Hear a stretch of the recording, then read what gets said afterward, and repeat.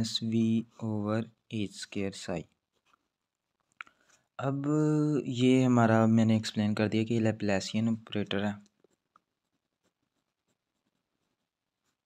सियन operator Laplacian operator आ गया। तो अब हम बेसिकली क्या करेंगे? Different form of Schrodinger wave equation निकालने के लिए हम कुछ इस तरह करेंगे। कि ये जो हमारे पास प्लस एट स्केयर वाली वैल्यू थी, इसको इक्वल्स की उस साइड पे ले जाएँगे, यानी कि del square psi equals to minus eight pi square M over A square psi into E minus V हम इसके अंदर थोड़ी सी रेनोवेशन ला सकते हैं। वो किस तरह ला सकते हैं? ये पूरी की पूरी वैल्यू को पहले ई e के साथ मल्टीप्लाई कर सकते हैं और बाद में वी के साथ मल्टीप्लाई कर सकते हैं, क्योंकि ये दो अलग अलग वैल्यूज़ हैं।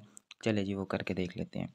डेल स्केयर साई जो हमारे पास आएगा, वो आएगा, पहले ये पूरी वैल्यू को ई e के साथ करेंगे तो minus eight pi square M E psi over H square एक माइनस ये वाला और एक माइनस ये वाला, ये माइनस माइनस प्लस हो गए। ये बन गया eight pi square M V psi over H square अब हम क्या करेंगे कि ये जो हमारे पास इक्वेशन आ गई है, हम कुछ इस तरह करेंगे कि ये पूरी की पूरी जो इक्वेशन है ना, क्योंकि हमने ये वाली चीज़ें कुछ थोड़ी सी जो एक्स्ट्रा हैं, उनको ख़त्म करना है तो उसके लिए क्या करेंगे, हम इस इक्वेशन को मल्टीप्लाई कर देंगे eight square over eight pi square M से। इससे क्या कर देंगे, पूरी इक्वेशन की लेफ़्ट हैंड साइड को भी और राइट हैंड साइड को साइड को भी क्या कर देंगे मल्टीप्लाई कर देंगे मल्टीप्लाई बाय दिस इक्वेशन अगर हम दोनों तरफ़ मल्टीप्लाई कर देंगे, फिर इससे कोई इशू नहीं होता, क्योंकि वो दोनों तरफ़ आपस में कट सकती हैं और दोबारा वही इक्वेशन आ सकती है।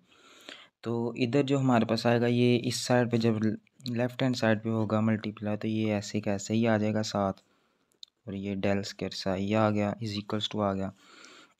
इधर जब हम करेंगे eight square over eight pi square M साथ आया minus eight pi square M E psi over H square ये इससे कट गया एट एट से कट गया पाई स्केयर पाई स्केयर से कट गया एम एम से कट गया. प्लस इधर भी जब हम करेंगे तो eight square over eight pi square M रकम जो थी वो थी हमारी eight pi square M V psi और एम वी साई के जो हमारे पास आ रहा था और बटा आ रहा था इस स्केयर ये मेरे ख्याल से पूरी रकम कट गई, बस वी साई रह गया हमारे पास। तो ये जो हमारे पास आ रहा है, हम क्या करते हैं? हम कुछ इस तरह कर लेंगे कि जो हमारा आ रहा है, इधर से हमारा बचा ई साई और इधर से जो हमारा बस बच रहा है, वो सिर्फ़ और सिर्फ़ बच रहा है ई स्केयर और eight pi square M del square psi is equals to minus E psi plus V psi हम क्या करते हैं? ये जो हमारे पास ये माइनस वाली वैल्यू उस तरफ़ ले जाएँगे, ये प्लस हो जाएगी और ये वाली उस तरफ़ लेके जाएँगे, ये माइनस हो जाएगी। तो ये हमारे पास बनेगी minus A square del square psi और एट पाई स्केयर एम और साथ जो वी साई था वो वैसे का वैसे आ गया अब अगर हम देखेंगे इन दोनों रकमों में एक चीज़ कॉमन आती है, वो है हमारे पास साई तो E psi is equals to आ गया, इधर से साई कॉमन आ गया। वे फ़ंक्शन जो हमारा, और इधर आ गया minus eight square del square over eight pi square M plus V ये बेसिकली हमने कॉमन क्यों लिया है? क्योंकि ये जो हमारे पास है ना, ये जो आई है, ये सारी की सारी एक नई चीज़ बन जाती है, जिसको हम कहते हैं एच और एच जो हमारे पास है वो है हैमिल्टोनियन ऑपरेटर ये बहुत ही अहम ऑपरेटर है हमारे पास। आइगन वैल्यू आइगन फ़ंक्शन में भी इसको डिफ़ाइन किया जाएगा थोड़ा सा जो हमारे पास आएगी। तो बेसिकली जो हमारा होगा वो बन जाएगा E psi is equals to H psi ये हमारे पास जो थी वो फाइनल इक्वेशन आ गई। अरविंद शुडिंग, श्रोडिंगर ने जो हमारे पास करके दी थी।